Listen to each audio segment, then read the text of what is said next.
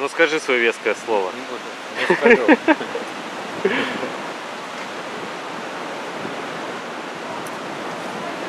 Ну ладно.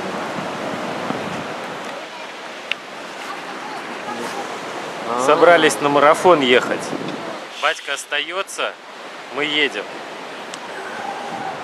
Вон еще один у нас с нами. Вон он. Все, погнали за номерами, а то время кончается уже. Песочек.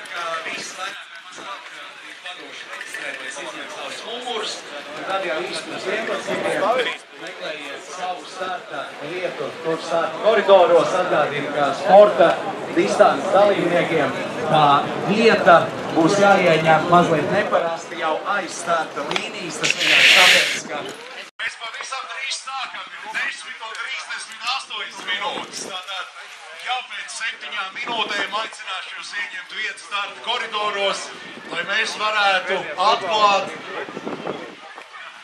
Jūrmalas MTB velos sacensības. Redziet, mēs jau esam ziemeļnieki, un ziemeļnieki mīl pagarināt vasaru. Un tie laikapstākļi ir izteikti rudenīgi un skarbi, bet tas neliec gūt prieku un baudu no šīm sacensībām. Turklāt, kā jau teicu, šī mums ir īpaša diena Baltijas maratoniem, jo šodien arī tiek izlozēta lielā sezonas balva. Un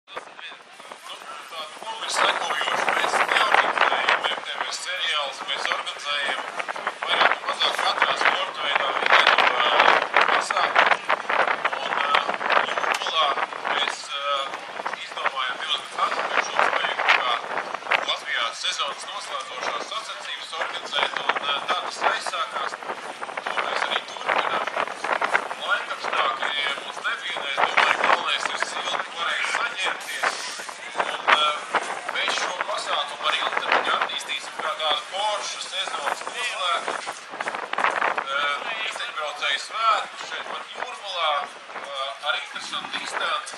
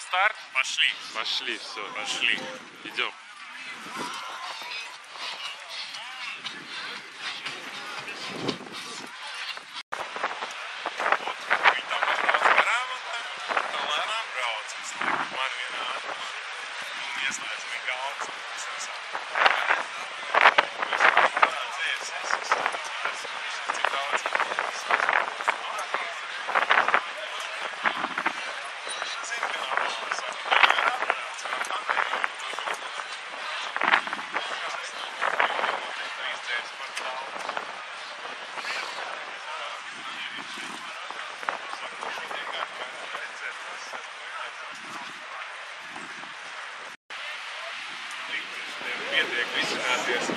Izvilkt telefonu, pakstīties, pakstīties telefonu.